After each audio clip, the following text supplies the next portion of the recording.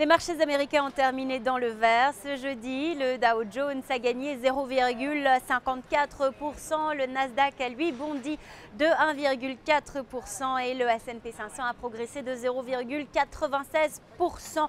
Ce sont les nouvelles en provenance de Chine et d'Europe qui ont surtout rassuré les marchés aujourd'hui.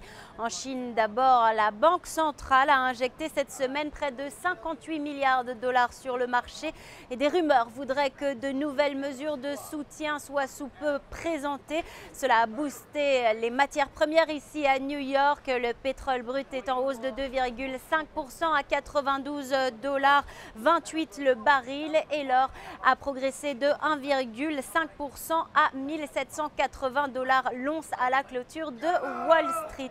Côté européen, l'Espagne a dévoilé un plan de rigueur qui a été favorablement accueilli par les marchés. Après cette présentation, l'euro est repassé au-dessus des 1,29$ à la clôture des marchés aux États-Unis. On est à 1,2911 pour 1 euro. Côté américain, maintenant, les indicateurs du jour étaient mitigés.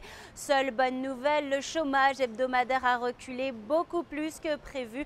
Moins 26 000 demandes d'allocation pour la semaine dernière. On revient à un plus bas de juillet dernier. En revanche, les commandes de biens durables ont, elles, chuté de 13% en août alors qu'on les attendait en baisse de 5%. Et le PIB pour le deuxième trimestre a été revu à la baisse à 1,3% contre une estimation précédente à 1,7%. Du côté des entreprises, pour finir, Research in Motion vient de publier ses résultats de deuxième trimestre après la clôture à Wall Street, des résultats qui sont meilleurs que prévu. Le titre coté à New York hors séance bondit de 14%.